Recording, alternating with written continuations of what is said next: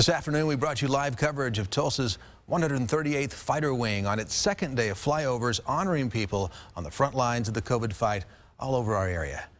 We were with the people outside. Here they come. Wagoner Community Hospital, the first destination this afternoon. As for the uh, pilots of four F-16s, they wanted to welcome them over. Listen to that. They had more than a dozen destinations today and attracted crowds in each spot, although for the most part, people were not in large groups, keeping social distancing in mind. As Fox 23's Amanda Gilbert reports, the pilots returned to Bartlesville this morning after yesterday's planned flyover left a number of people disappointed. It's been pretty quiet out here on the parking garage, but that was not the case for an hour today when tons of people came out to see the jets fly above. A rare sight and sound. The Oklahoma Air National Guard started their second day of flyovers in Bartlesville.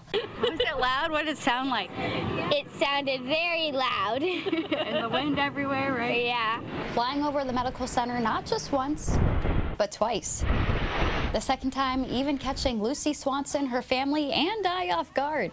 Are they coming back? Oh, they are coming back! Ah!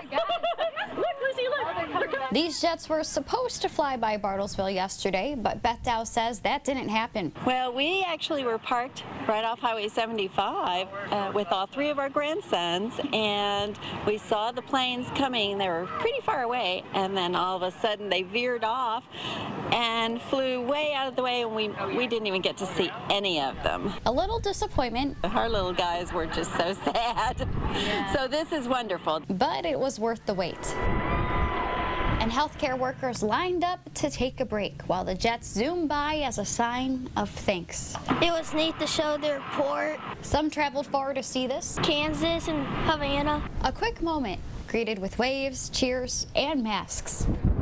Reporting in Bartlesville, covering news that matters, Amanda Gilbert, Fox 23.